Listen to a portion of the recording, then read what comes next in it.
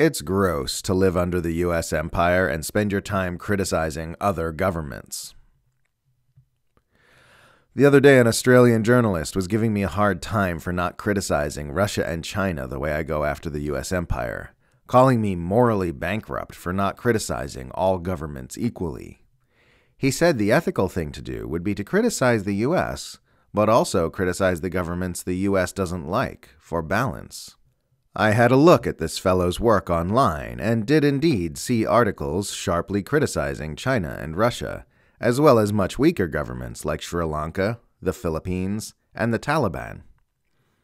But guess what government I didn't see in his crosshairs? This, to me, is the worst kind of moral cowardice.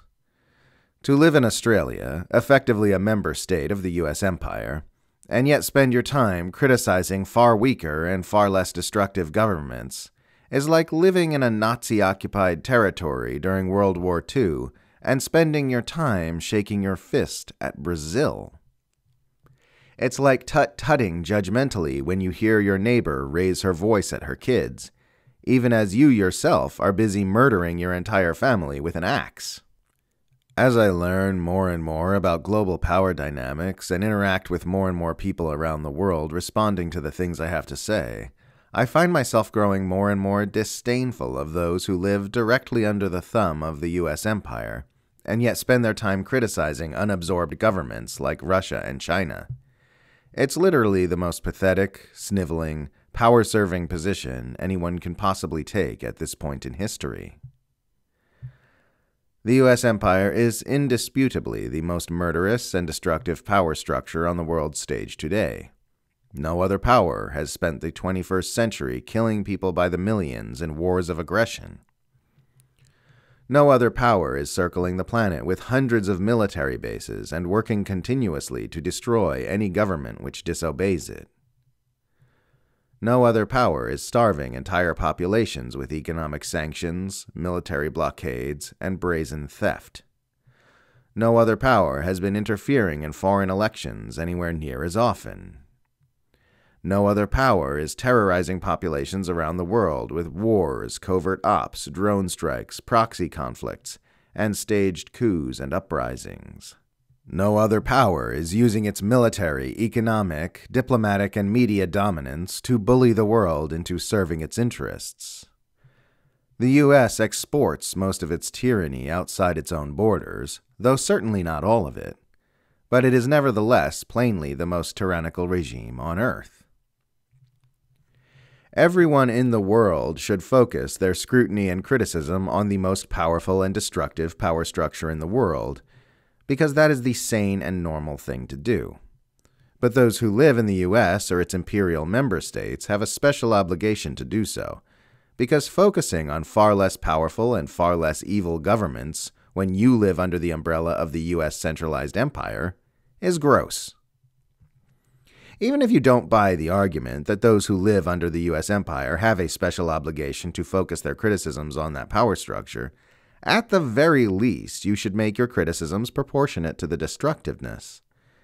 And because the US is by far the most destructive power on Earth, you should be criticizing it far more often.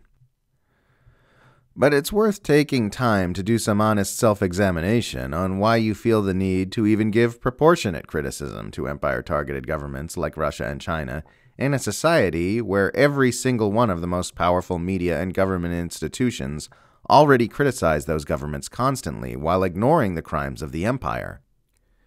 It's worth examining why you feel the need to lend your voice to a message that is already being amplified as loudly as any message could possibly be amplified, when criticisms of the empire are so profoundly neglected in the English speaking world, and questioning whether lending your energy to those propaganda campaigns would have any desirable effect at all.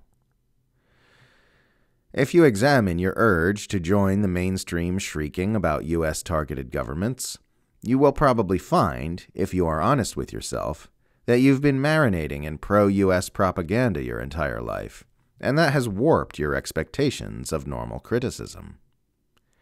We are so accustomed to seeing the misdeeds of US targeted governments grossly overemphasized and exaggerated, while seeing US misdeeds grossly underemphasized and ignored, that it sets the bar for our expectations of what normal criticism should look like.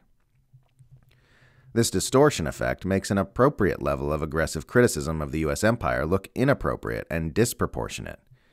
We've been trained in such a way that a normal amount of emphasis on the evils of US imperialism looks freakish and suspicious. In reality, it is not freakish and suspicious when someone focuses their criticisms on the world's most powerful and destructive government. It's freakish and suspicious that that isn't the norm.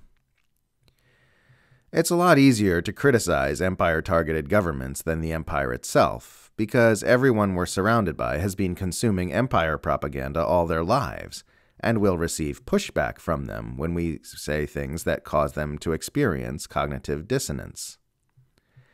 And this is a major reason so many Westerners opt for the path of least resistance rather than shining the spotlight of truth where the real monsters are. But that's cowardice. It's bootlicking. It's pathetic.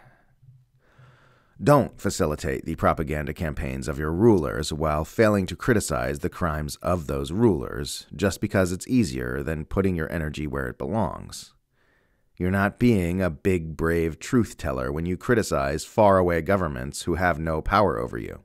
You're being a coward. Don't serve power while pretending to oppose power. It's gross.